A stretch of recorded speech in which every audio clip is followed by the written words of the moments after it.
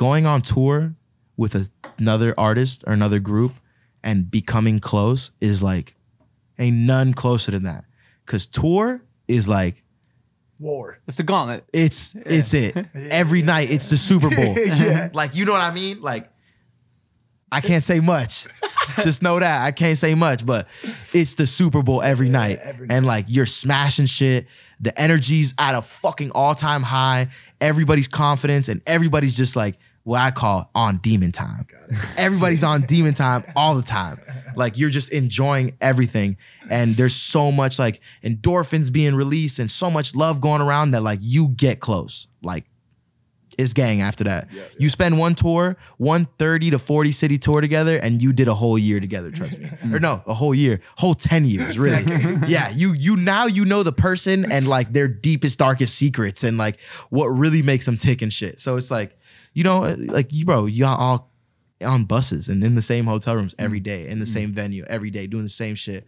So you get very close. So I think that that was one of the most important things was that tour, the Death Race for Love tour, which was oh, yeah. Literally one of the best tours I've ever been on in my life. I don't give a fuck anybody else's tours or what the fuck they done. that shit was so crazy. Like, we not even that big.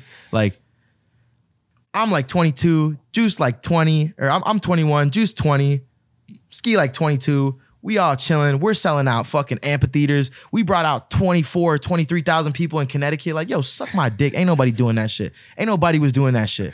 We had, it was like a half lyrical lemonade thing too, where like Cole was like part of the thing where they'd have like a Jake would come out and fucking DJ and DJ for like NLE Choppa, the baby, like all these all these artists that like are now doing crazy Big shit. things, Like yeah, yeah. it was all being part of the tour. And it was just something that was like organic and genuine. Like when we got offered that tour, Ski and I were like, oh yeah, we there.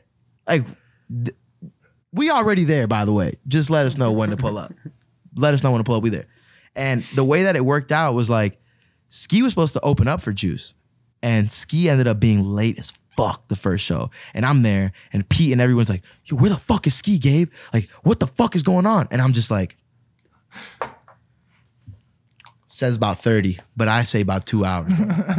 I say about two hours for sure. And Pete's flipping out Literally, shit. Pete's flipping out. Everyone's flipping out. And Juice is like, gotta go on. So Juice goes on halfway through his set. Juice plays uh like a like he has like a break part, whatever. So instead of that, it was like Ski performs.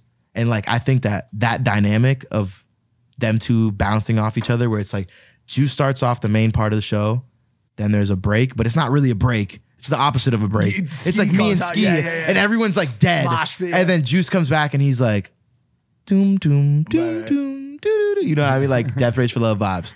Everything's calm. But everybody's singing their hearts out. But like, never seen a tour with that kind of dynamic where it was like beautiful love songs and then rage, fire. like Ski being like, hey man, jump the fucking barricade. I'm like, break every fucking rule in the venue. Literally, I'm I said that at the last show. I'm like, break every rule at the venue. I don't give a fuck. That, that's why the other day Bro, in Connecticut, we made people jump over the safety fences. We got in so much trouble by Live Nation. trouble for that? Oh, we get in trouble all the time. By the way, I hope this doesn't make anyone not book us. But, but listen, no one's ever been. People have been injured. I like, but nah.